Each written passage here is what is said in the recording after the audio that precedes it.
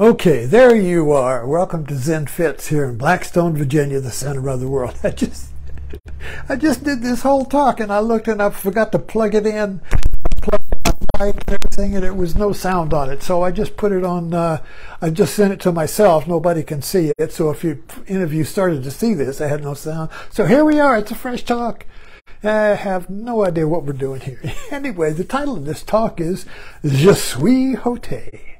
Je suis Hotei. J E S U I S, Hotei, H O T E I, Hotei. Je suis is French for I am. Hotei is that fat little Chinese laughing Buddha that everyone likes, and he, he morphed to Japan and he morphed to America and has different meanings in different places. But he originated in China, and he was basically kind of like this uh, this uh, uh, enlightened uh, little mendicant, or, or we, in America we'd call him a bum, a bum. You see, a hobo with a with a with a stick over his shoulder with his sack, you know, and uh, he goes through the marketplace laughing and giving food or gifts or boons uh, to the people, you see. But he's always laughing. And uh, uh here's Hotei. We all seen this. He's got a fat little belly, and he's always laughing. And I always wondered, you know, what is he holding his hands like that for? Is he holding up something? What What is that? Well, he is holding up something, but you can't see it. He's holding up the world, but it's empty. That's why he laughs. But he's full. His belly's full of prana, energy. And he's holding up the world, but it's empty. So he's free. He's laughing. He's empty, full.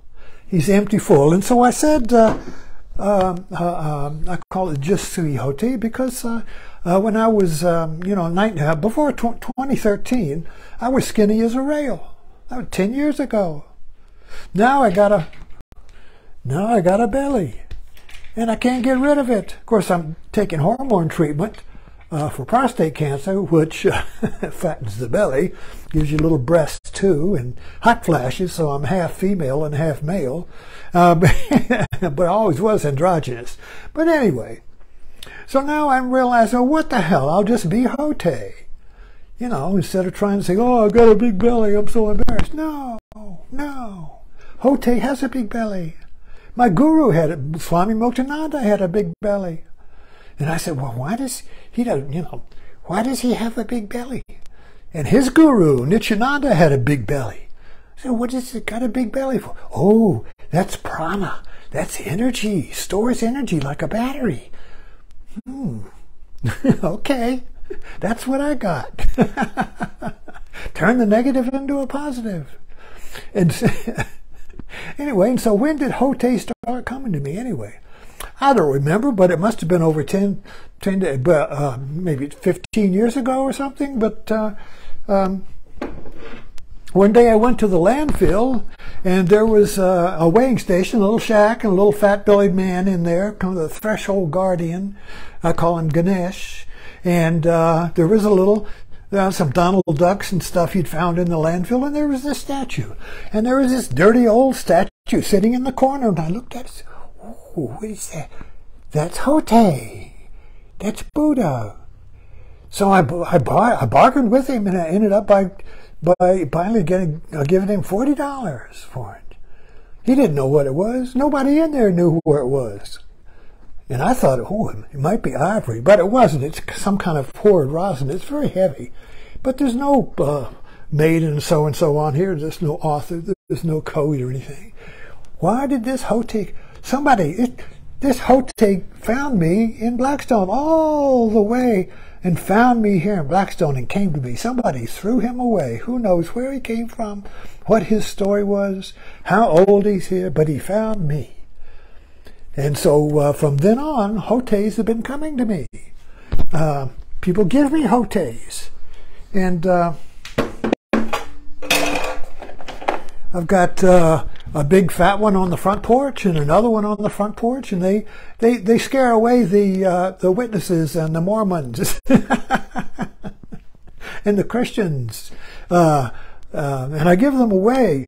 I have little uh, Yeah, me see if you can see that. There we go. I get a pack of these on Amazon. They don't cost that much. You know, people come to visit and we kind of resonate, you know. I say, oh, I have something for you. And they hold out their hand and I put a hotei in it. It's kind of like chocolate. Whoops. I'll pick it up. It's kind of like chocolate, you know. You never know what you're going to get. You don't know what kind of hotei you're going to get, you see. And uh, one time,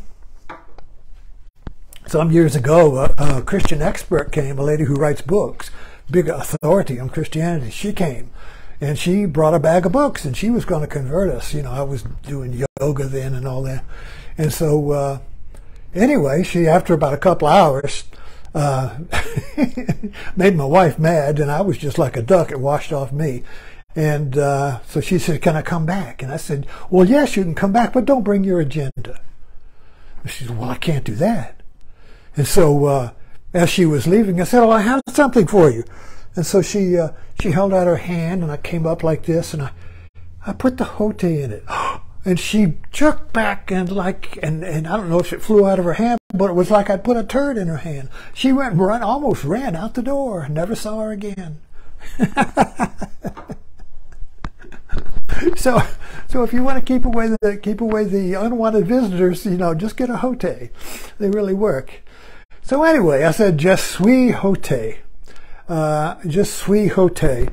I remember when, uh, you remember when uh, uh, there was a publishing company, cartoon company in France, and, and uh, they published a um, satirical picture of Muhammad, and the, and the Muslims shot him up, and the people rose up, and they had signs saying, "Just suis Charlie. Just suis Charlie. And that's where I found out what just suis meant. So that's where I came. Je suis Hotei. So Hotei is, um, you know, has, has migrated in America. Uh, I just realized today as I was writing about Apple, looking about apples, is that Johnny Appleseed is, a, is an American Hotei. Johnny Appleseed is, is an original Hotei. He, he was, of course, he was copied after a real person, but the mythical Johnny Appleseed wears a tin hat and he goes through through the world giving, throwing away, seeding apples. Uh, he doesn't get any money from them. He has no, uh, he has no uh, uh, utility, no no reason to do it. He just gives away apple seeds.